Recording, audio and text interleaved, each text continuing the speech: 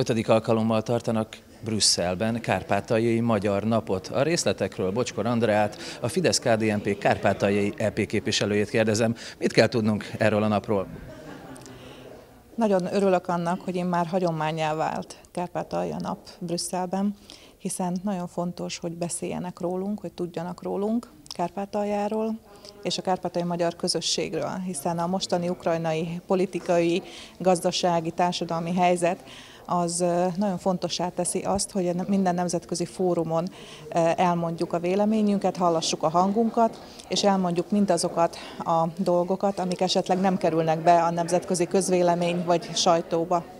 Mivel készültek a mai napra?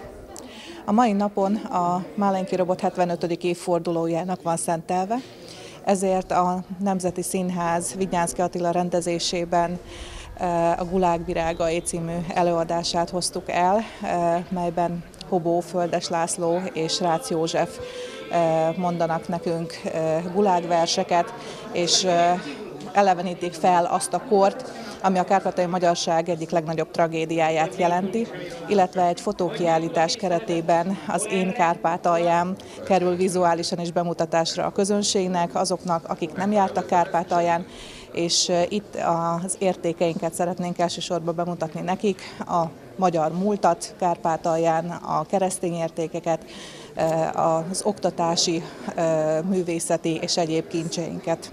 Önök nemrég New Yorkban is jártak ezzel a kiállítással, ott hogy fogadták?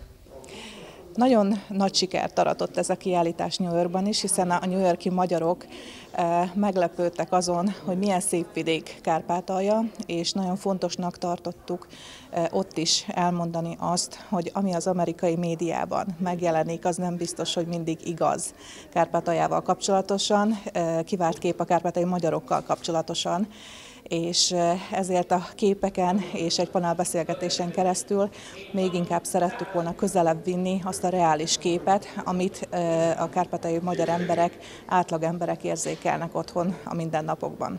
Mennyire fogékonyak erre Brüsszelben, gondolok itt az európai politikusokra, mennyire látják, azt a, látják át azt a helyzetet, ami jelen pillanatban Ukrajnában van, gondolok itt a jogfosztásra?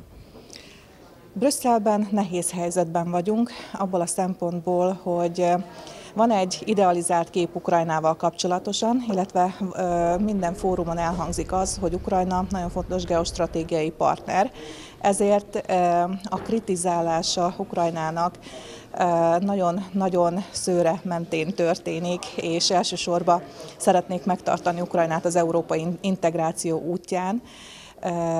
Így egy kicsit nehéz a mi szempontunkból elmondani azokat a jogsértéseket, amelyek a magyarokkal szemben történnek, mert mindezek elhangzása után eléggé eléggé erősen ránk sütünk azt, hogy orosz barátok vagyunk, hogy túlzásba visszük és eltúlozzuk a dolgokat.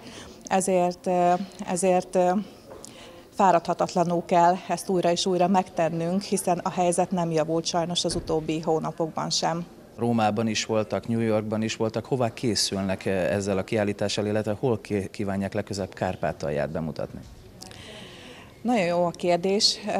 Elsősorban a projekt kezdetekor Brüsszel és, és az európai intézmények jelentették a fő célpontot vagy célközönséget.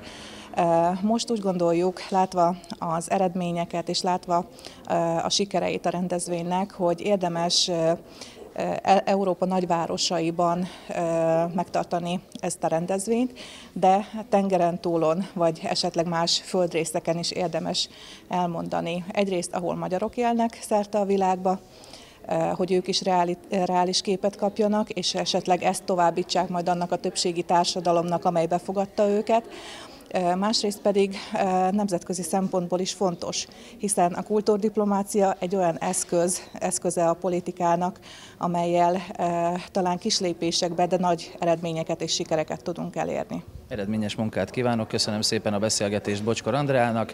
Brüsszelben tehát ötödik alkalommal szervezik meg a Kárpátaljai Magyar Napot. A mai napon előadást láthat az itteni közönség, mégpedig a Gulág virágait Vinyánszki Attila rendezésében és Földes László Hobó előadásában.